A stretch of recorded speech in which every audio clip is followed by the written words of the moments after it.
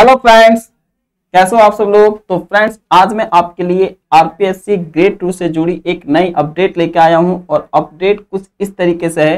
तो फ्रेंड जैसे कि आप सबको पता होगा कि यहाँ पर ग्रेड टू की जो एग्ज़ाम फॉर्म फिल करने की डेट थी, वो निकल चुकी थी। लेकिन अब आरपीएससी ने इस फॉर्म को फिल करने की डेट को एक्सटेंड कर दिया है और ये डेट इन्होंने बढ़ाकर 14 मई कर दी गई है। तो जैसे कि फ्रेंड्स आप सबको पता था तो यहाँ पर आप देख सकते हो कि पहले की जो एग्ज़ाम डेट थी, पहले की जो एग्ज़ाम डेट थी, यहाँ पे लिखा हुआ है कि अंतिम दिनांक इनकी कितनी थी? 10 मई।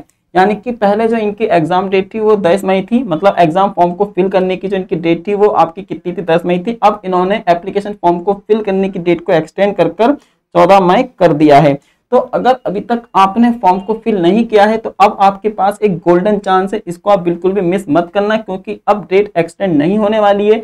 तो ये आपके पास एक आखिरी मौका है, जाकर अभी, बिल्कुल अभी, आप जाके पहले एप्लीकेशन फॉर्म को फिल कीजिए, क्योंकि बार बार मौका नहीं मिलता है। हो सकता है कि पहले आप किसी कारणवश एग्जामिनेशन फॉर्म यानी कि एप्लीकेशन फॉर्म को फिल ना कर पाए हो। सकता है कि आपका नेट खराब हो हो सकता है कि साइट पे ट्रैफ़िक हो तो जिसकी वजह से आप लॉगिन ना कर पा रहे हो। लेकिन अब आपके पास अच्छे खासे दिन है, ठीक है? लेकिन आप उन दिन को मत देखिए, आप आज ही, बिल्कुल अभी जाके ही इस फॉर्म को यहाँ पे फिल कर दीजिए, ठीक है?